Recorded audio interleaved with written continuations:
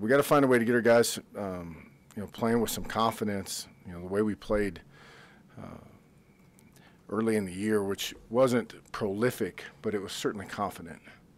And uh, we got to find a way. You've slowly watched over the last several weeks the um, a little shift there in the confidence level. Our defense is increasing, and offensively, it's decreased. Whether that's the crowd or your your cell phone or whatever, but first of all, it's my job to take that. Okay, they should you know it should not alter anything with them. Okay? That's it's that's my job to to to try my best to shelter them from any of it, and and take that and. I firmly believe this, and this is easier said than done, but I really do believe this that every day we wake up, we have complete control of our attitude and our effort.